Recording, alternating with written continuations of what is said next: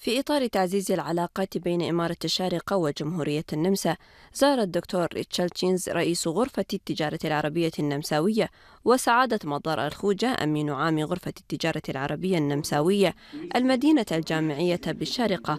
وكان في استقبالهم سعادة خالد بن بطي الهاجري مدير عام المدينة الجامعية بالشارقة لينطلقوا في جولة تعريفية بدأت من مجمع اللغة العربية في الشارقة وهناك تم إطلاعهم على دور المجمع ومهامه المنوطة به لحفظ لغة الضاد. تعرف على الشارقة والمدينة الجامعية على وجه الخصوص لما آه، سمعوا عن المدينة آه، واهتمامها بالتعليم والثقافة.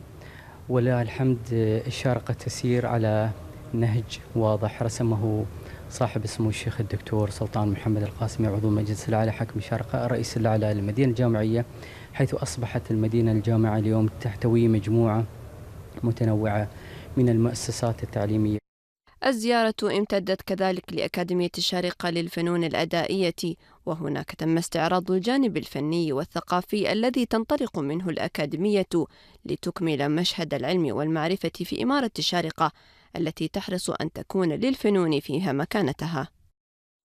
هذه زيارتي الأولى لإمارة الشارقة، ولقد انبهرت جدا بالتطور العمراني وبالحرم الجامعي الذي قامت به خاصة، وحقا أن الشارقة منطقة ثقافية بكل ما تحتويه من تخصصات متنوعة وتعاون